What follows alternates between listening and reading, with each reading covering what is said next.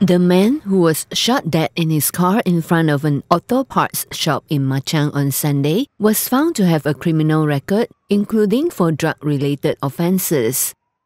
In a statement on Monday, Kelantan Police Chief Commissioner Datuk Muhammad Zaki Harun said based on initial investigations, two unknown male suspects in a white car fired several shots from close range towards the four wheel drive, hitting the victim who was in the driver's seat.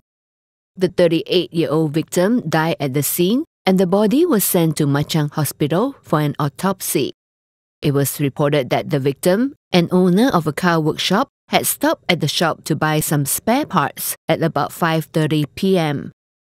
Muhammad Zaki urged witnesses and those with information on the incident to contact the nearest police station to facilitate the investigation.